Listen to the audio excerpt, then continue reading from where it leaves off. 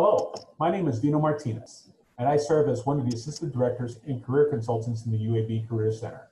Thank you very much for joining me with this resume workshop video. Before we get started, I want to share with you what you can expect by watching this video. First, you'll be able to identify and effectively utilize the basic components of a resume.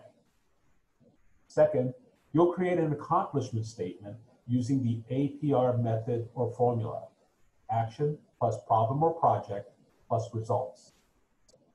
Third, you'll articulate your understanding of the applicant tracking system or ATS and how you can tailor your resume using keywords. Ready? Let's get started. A lot of times we'll get students asking us when we do these workshops how they can have their resume stand out, whether or not that they should use some of the templates that they find online or fonts, colorful graphics, anything to be able to have your resume stand out. Our response is to be able to make sure that you have good content in your resume because the HR professionals looking at your resume know what they're looking for and know good content regardless of the different type of fonts or graphics or columns that you put in your resume. So we're going to talk about the components that goes into a resume. So the basic components of most resumes is that make sure you have your name and contact information. It's optional whether or not if you want to use a profile summary or summary statement, and we'll talk more about that later. Having your education on your resume and making sure you talk about your experiences. And experiences can be done in a lot of different ways. So let's talk about name and contact information. Now in your name and contact information, you can actually have several different formats. There's basically three pieces of information in your contact information that you should have. Your name, the telephone number that you prefer to use that you will pick up or answer if an employer is going to call, and an email address that's professional, yet is going to be an email address that you're going to pay attention to uh, in terms of inviting or accepting a potential employer's email messages. So we have a couple of examples here that you can see. As you notice, Terrell Johnson in his contact information actually has his physical address on, the, on his contact uh, information, which is completely fine. It's completely optional. As a matter of fact, our recommendation is that you don't necessarily need to have your physical, complete physical address on your resume. However, you may want to think about whether or not if you have the city and state especially if you want to convey to the employer that you are local or that you're out of state, having that information on there would be helpful. But for the most part, you just need the name and telephone number because if the employer is excited about pursuing you as a candidate, they're only going to do one of two things. They're either going to call you or they're going to email you. But as you also see, Terrell has his contact information centered on the page. But if you look at Michael Roberts' example, Michael Roberts only has name, telephone number, and email address, which is completely fine, but his is justified to the left. And then you can see Darlene Chang's, which Darlene Chang has city, state, telephone number, and email address. So all three of these examples are correct, and it doesn't matter whether or not if they're justified to the center, to the left. As a matter of fact, I've also seen contact information justified to the right and I've also seen where the combination is that the name is justified to the left, but maybe the rest of the information is justified to the right. All those examples are correct as long as you make sure you have minimally your name, telephone number, and email address. Now let's talk about the professional summary or summary statement. Now some people may say, well, I thought it was actually having a professional objective. Our recommendation is that you do not include an objective for the most part, the employer already knows what your objective is when you submit your resume and can sum it up in three simple words get a job. Think about the profile summary or professional summary as an answer to this question. I have now narrowed down my choices to three people, you and two other candidates. Why should I hire you over the other two peers? And basically, the profiles uh, the profile summary can be summed up and can answer that question perfectly.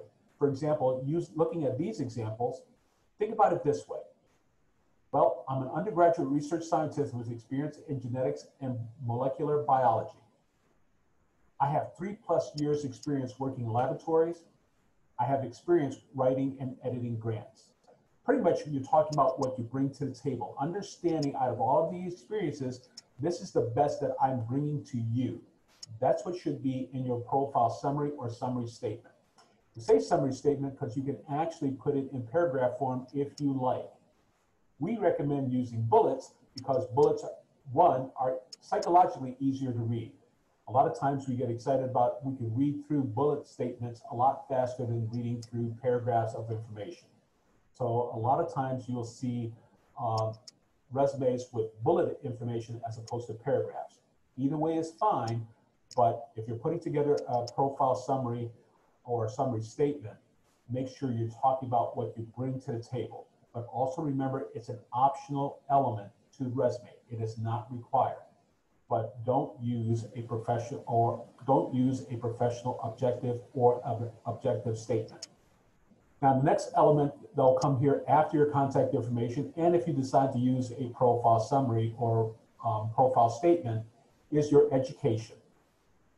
Now here, your education, you have a lot of different options in regards to providing your education. Now that you're a college student, for the most part, you're going to talk about where you're getting your degree, where the institution is located, the degree that you're getting, and the month and year that you either received the degree or achieving the degree. That's all we need.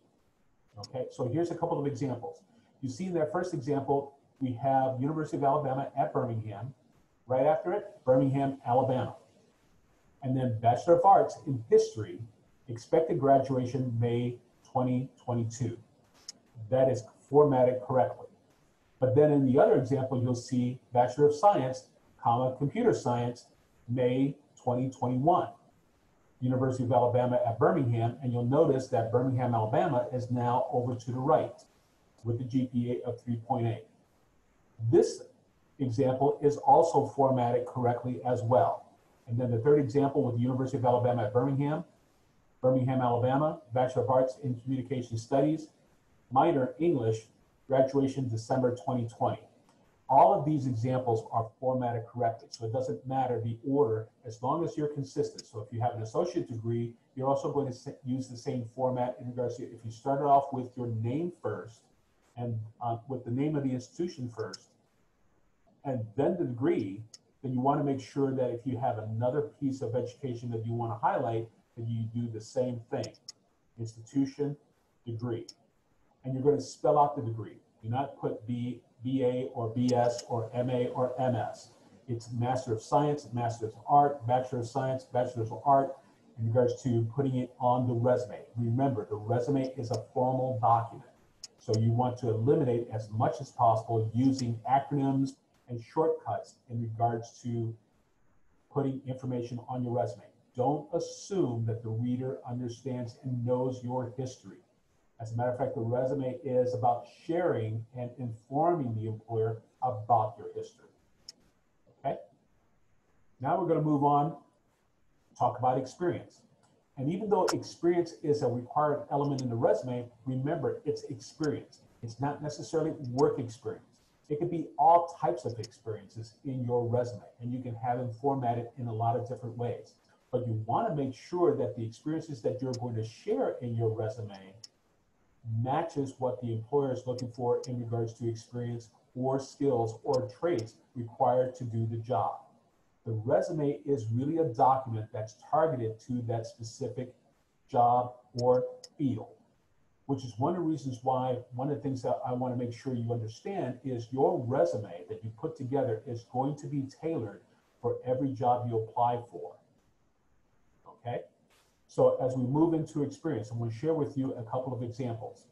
In this first example, you'll see that we're just labeling it as just regular experience. And so the person here putting together their resume has UAB alumni relations. I would recommend that you put University of Alabama at Birmingham uh, alumni relations, and it's located in Birmingham, Alabama. Then the role is communication, communication intern. The time frame, May 9th, uh, May 2019 to the present. And then you see bulleted statements there in regards to what they achieved or what they did while they were at that particular experience. Then you'll see Relations Society of America, UAB chapter, Birmingham, Alabama. The role was president. Time frame was April 2018 to May 2019. Now notice here, when you have a particular category, and this category is pretty broad, it just says experience. Everything in that category is listed in reverse chronological order, starting with the most recent experience first.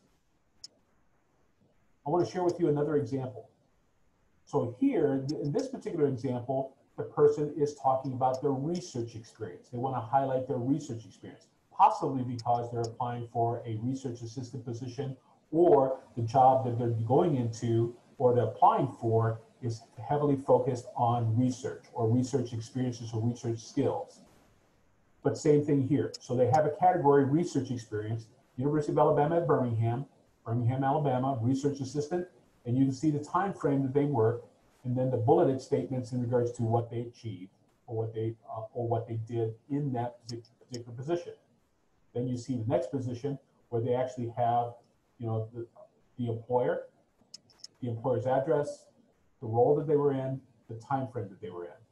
And then you see volunteer experience is separate from research experience. So there again, they're now listing kind of like their volunteer experience because either they've done their research and found out that the employer highly values research uh, as well as valuing volunteerism, service. And so the person may want to highlight the fact that not only do I have research experience, but I also have service experience as well. And that's why I'm a good fit for your position or your job. Think about the resume talking to the employer that way. But there again, you can see because they started a different category called volunteer experience, then they the countdown in regards to that reverse chronological order of your experiences starts all over again. Another example here, where we have someone who's interested in going into education, talks about their classroom experience and the fact that they were a student teacher, have the bullet points in regards to what they did during that experience. And here, one of the things that you'll notice that they have it formatted pretty much all in one line their role as a student teacher, the employer, where the employer was located, and then the dates in terms of that employment or that particular experience.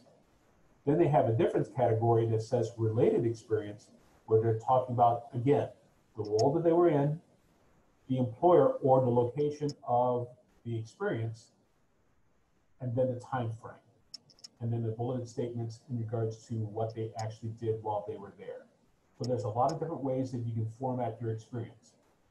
Our last example here is that we can see this person just wanted to list maybe their relevant experiences. So maybe this person may have actually in the course of their undergraduate career, they may have had seven or eight different part-time jobs or part-time experiences, but they only wanted for this particular job that they were applying for, they only wanted to focus in on, on their most relevant experiences and not share all because if they were to try to do that, it may take more than one page to be able to talk about their experiences.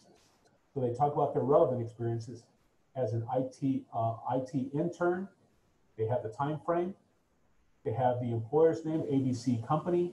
They have the location, and then they have a couple of bullets uh, in regards to what they achieved or what they did or what they have done during that experience and they have it listed in they have those experiences listed in chronological order. You see again in terms of staying with the format. They started off with the role in terms of the IT um, personal computer support intern. In their next experience, they talk about their role as now teaching assistant, the time frame, and then the employer in terms of UAB um, computer science department and the location. So they they had it formatted in regards to their role and then the employer in each one of those experiences. So, and it doesn't matter. You can actually start off with the employer, the employer's location, um, or the employer and the employer uh, location, and then the role, and then the time frame. It doesn't matter as long as you're consistent throughout your resume in terms of how you have that formatted and laid out. So now we're going to talk about accomplishment statements.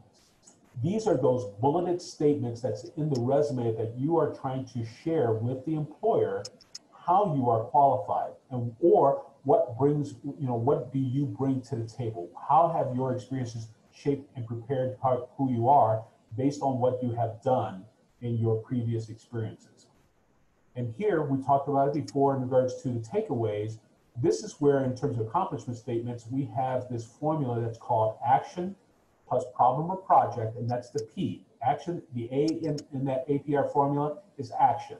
Then we talk about the P or problem that you either worked on or solved or the project that you worked on, and then your results. So this is a very important part of the resume because now you're trying to convey your experiences as far as what you actually accomplished, what did you do, or what you did in those experiences that makes you a viable candidate for the position, or the scholarship, or the opportunity that you that you are applying for. An example of this can look like coordinated. That is the action.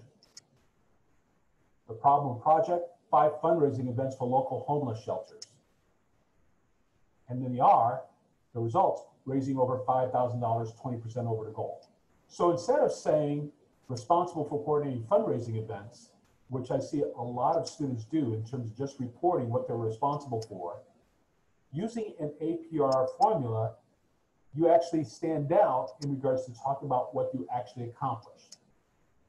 Coordinated is the action. The problem or project here is five fundraising events for local homeless shelters, and the results raising over $5,000, 20% over a goal. So now we have an accomplishment statement that reads, coordinated five fundraising events for local homeless shelters, raising over $5,000, 20% over the goal. Compare that to saying, responsible for coordinating fundraising events. And I'm sure that I convince you that actually using the APR formula in your resume can help make your resume stand out and be a much stronger and more effective way of telling the employer about your qualifications. Now I want to talk to you about the applicant tracking system. It's a piece of software that more companies and agencies are using to mitigate the volume of resumes that they're getting from people who are applying for entry level positions or all types of positions, actually. So sometimes employers can anticipate the fact that they may receive hundreds, if not thousands, of resumes for one particular job. And that professional HR individual doesn't have enough time to actually scan through or read through all the applications. Actually, the information out there about the national average that the HR individual is going to spend looking at your resume for the first time is, believe it or not, six to 15, not minutes, but seconds. So many companies, agencies, and employers are using an applicant tracking system, the software. So when you upload your resume to the company's website, there is software that's scanning your resume to try to determine whether or not if you meet their expectations or not. So when you upload your resume, the ATS or applicant tracking system software is actually scanning your resume to find out whether or not if you're using the same keywords they identified in their job postings to find out whether or not if you're a viable candidate. So as you can see in this example here, in this particular job posting, we identified keywords in the resume. So I tell people, think about it as going through and you're reading text, you're studying for an exam, and you're highlighting what you believe are the important parts of the passages in that chapter that'll be covered in the exam. You want to do the same thing for a job posting. You want to identify what you believe are the key words, are the important words or phrases that might be that they may be looking for when they look at your resume. Or another way to take a look at it is to make sure that you're using the same type of language, same type of words. Other tips and suggestions that we want to make sure that you understand. The national data that's out there, or the best practices in regards to the length of the resume, states that it's basically one page for every 10 years of experience. So keep that in mind. Now, some positions and some jobs, like especially in education, may be a bit more forgiving where you can actually submit a two-page resume. Now, in terms of, so that's the length. Margins. We generally tell people no less than half inch top and bottom, and no less than seven tenths of an inch left and right. That way your resume doesn't look like you're actually trying to cram all this information on one page. We also suggest not using what's referred to as a decorative font or, or a serif font. Use a non-serif or a non-decorative font. Believe it or not, Times New Roman is a serif font. It's also an outdated font. Use something that's a bit more clean or crisp, something like Arial or Calibri or Century New Gothic. But don't use Times New Roman or any other type of decorative font that may be in your word processing program. Using Arial or Calibri, most word processing programs, including those um, by the employer, potential employer that you're applying for, will have pretty much those type of fonts. And when you upload your resume, would be read correctly. We want to make sure that you also avoid listing obvious skills and traits that most employers may assume you should come with. So for example, in your profile summary, or if you have a skills section in your resume, don't list that you're hardworking, detailed oriented, have good time management skills, unless of course the employer is asking for those skills, don't list it. It may be already assumed.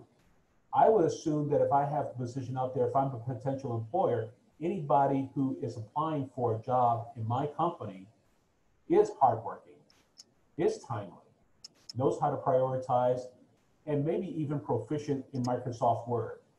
You're all college students. As a matter of fact, UAB gives every college student access to Office 365. So saying you're proficient in Word while most college students are writing papers using Word really doesn't help separate you from the rest of the pack. So avoid using skills and traits that most employers will assume you should already have. So those are some of the resume tips and suggestions that we have. If you want more of those, log on to Handshake. When you log into Handshake, click on Career Center, and in that Career Center, you'll see, once you click on Career Center, you'll see three tabs. One that says Appointments, Resources, and Surveys. Click on that middle tab that says Resources. When you scroll down, you'll be able to find some more information, some more resources about building a resume. Thank you very much for taking the time to look at this video. Hopefully we have helped you with your building your resume. For more information, many of you are already enrolled in our Career Center Canvas course. One of the modules in that Canvas course is this information about building a resume. So look that up as well. But remember, you also have the resource library in Handshake. When you click on the Career Center, that middle tab, you'll have appointments, resources, and surveys. You're clicking on that middle tab that says resources, and you can have access to our resource library. So we have a lot of information about building a resume and so much more about our services. Take advantage of that. That's available to you 24 7. Thank you again for watching this video.